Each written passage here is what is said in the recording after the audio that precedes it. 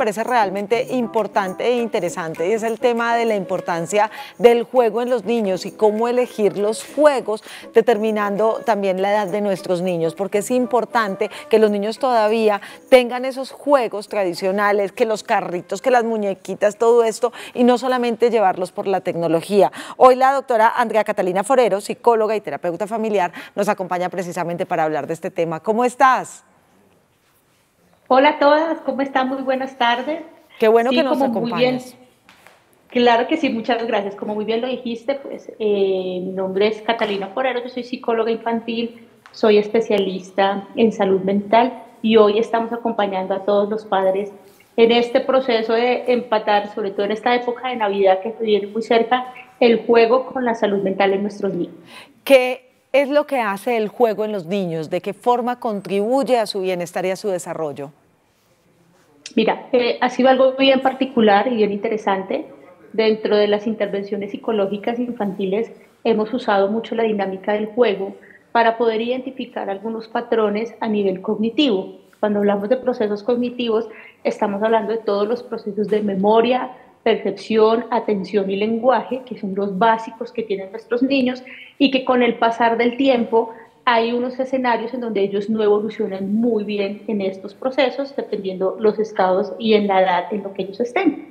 Hemos podido identificar en nuestras terapias que mediante el juego los niños empiezan a expresar mucho más cosas que no son tan fáciles de ver en casa, ¿sí? como lo que les incomoda, situaciones y relaciones con sus hermanos, cosas que pasan en el colegio que ellos con facilidad no expresan y mediante el juego los niños han empezado a hablar mucho más y a manifestar ciertas situaciones que no les agrada en su colegio o en espacios diferentes a su casa también. Entonces, hemos podido encontrar patrones a nivel de eh, la memoria, es decir, cómo vemos que el niño en la parte académica no se desarrolla muy bien con los números, con el tema de conteos, en materias como son matemáticas, cómo se le dificultan en las terapias, y eso nos ha podido llevar a poder dar eh, posibles intervenciones psicológicas con más éxito en el proceso psicológico de nuestros niños. Entre otras cosas también que por el tema de socialización y familiar y, lo que es el círculo de la familia, los juegos indudablemente lo que hacen es generar esa integración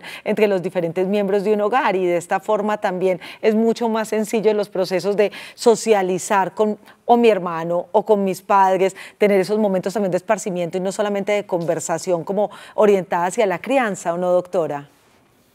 Sí, tal cual. Aquí abarcamos en los niños todas sus áreas de ajuste, que cuando hablamos de áreas de ajuste hablamos en las diferentes como etapas en las que ellos se enfrentan. Unas son el tema social, otros el tema familiar, otros el tema físico y demás.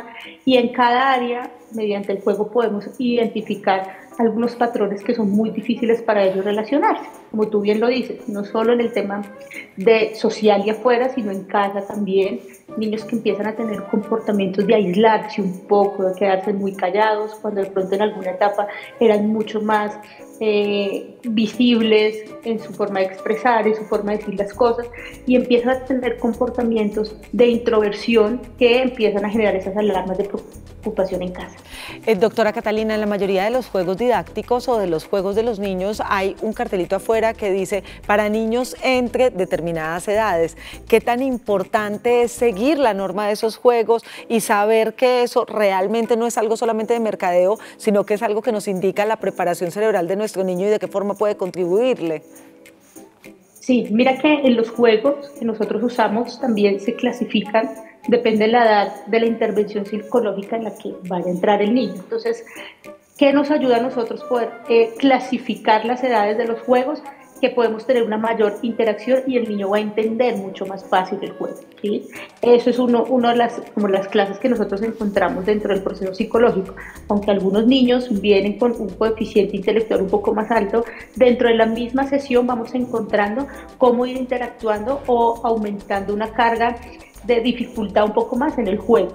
¿sí? Pero sí es importante leer bien las normas de los juegos y sobre todo, si el niño se interesa por un juego que vaya un poco más alto de su edad, con ayuda de su padre y su madre, guiarlo para el aprendizaje y que esto no surja un proceso de frustración, ¿no? Porque para nuestros niños va a ser un poco frustrante eh, entender que hay un juego y que ellos no lo comprendan de la misma forma que lo comprenden otros, eso genera mucha frustración en el momento de, de la empatía y de la dinámica del juego. Entonces también saber explicárselo muy bien y la importancia siempre que haya un adulto mayor en esta interacción, no solo por la responsabilidad de lo que conlleva el juego, sino porque para el niño va a generarle mucho interés a nivel emocional de ver cómo papá y mamá interactúan en estas relaciones de juego. Miren, este tema básicamente lo queríamos hacer también agradeciéndole a la doctora Catalina porque se acerca una época donde los regalos hacen presencia en gran parte de las familias colombianas e indudablemente el tema de conocer qué es lo que hace el juego dentro de nuestros niños y de que hay juegos que son determinantes para cada una de las edades y que ayudan en su desarrollo cognitivo y también en su desarrollo en la parte social y en la parte de comunicación con su familia, pues hará que ustedes hagan mejores elecciones a la hora de comprar. Que cuando le den ese regalo no lo compren solamente porque es el de moda o para que esté pegadito a una pantalla, sino también pensando en el bienestar de ese pequeñito de la casa y del cerebrito que estamos formando. Doctora Catalina, muchísimas gracias por acompañarnos.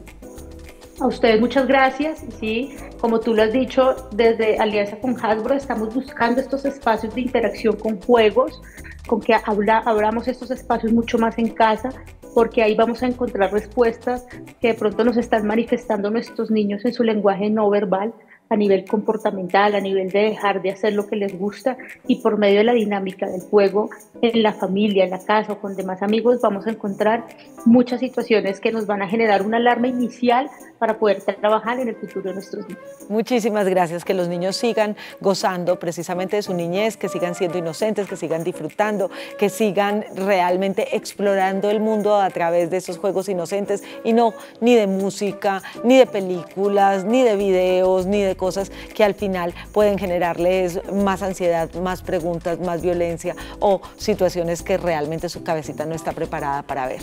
Vamos a separarnos un segundo y ya regresamos con más temas.